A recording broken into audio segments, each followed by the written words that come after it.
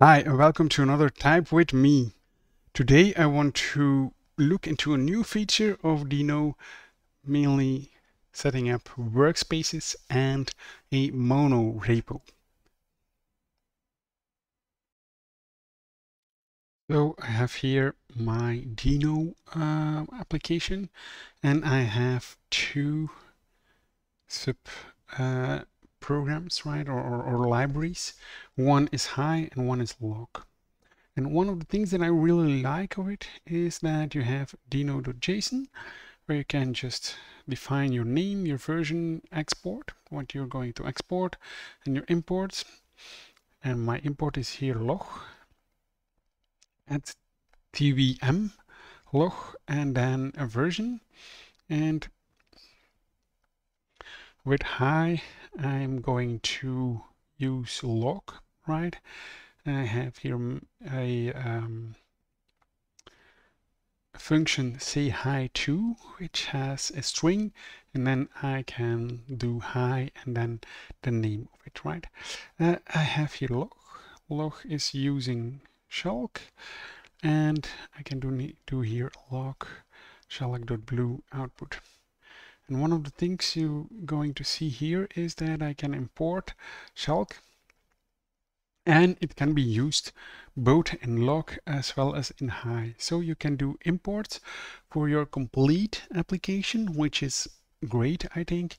Um, but you can also very easily override it uh, towards only imports that you need for these specific uh, libraries, right? Um, another thing that you will see right here is I can do import, say hi to, then add tvm slash hi, and then say hi to friend.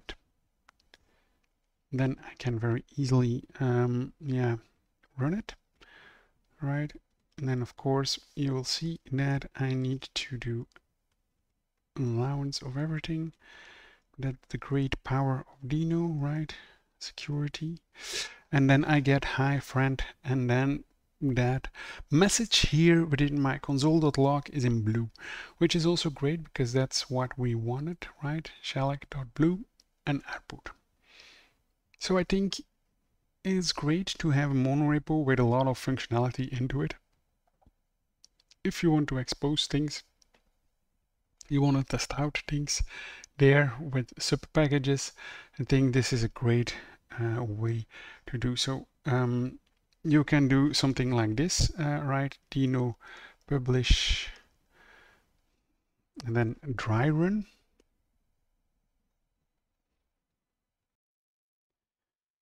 And of course, I will get an error because have we need to submit our changes. But what you could do here is seeing like, hey, it simulates the publishing of these packages and that's the high and the log right? Um you see we do the dry run and the allow dirty. If I just remove the allow dirty you will see that he will complain because we have uncommitted changes which is also a good thing in my opinion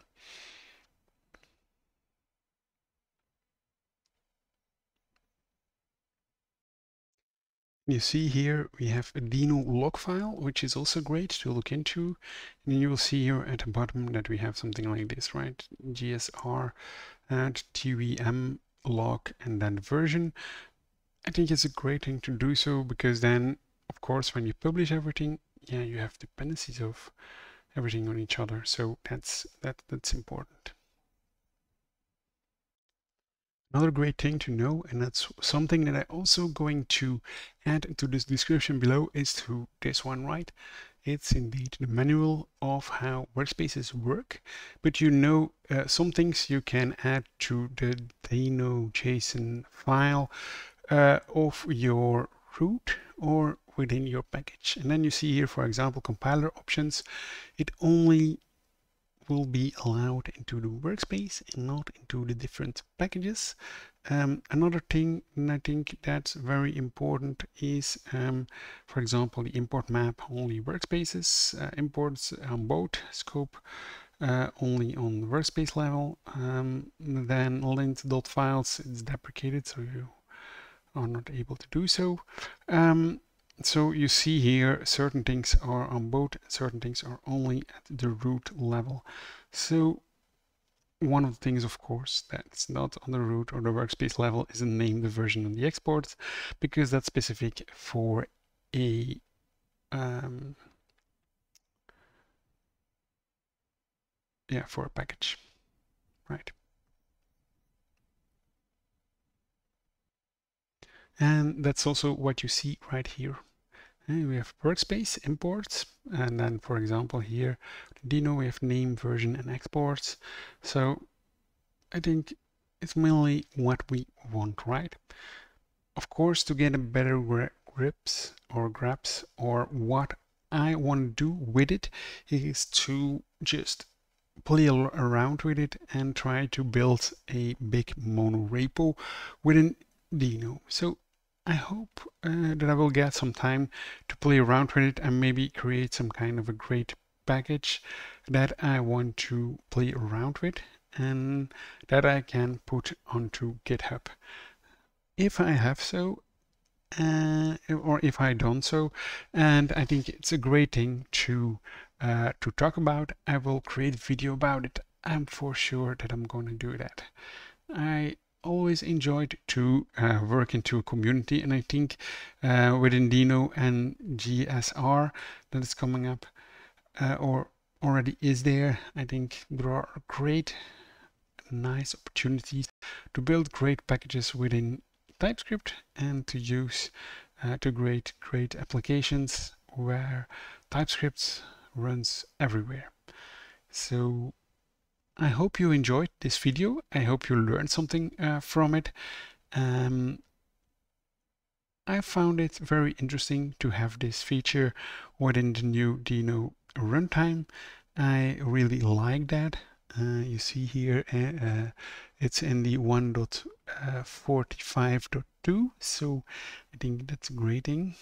I hope you can also enjoy this and work around with this.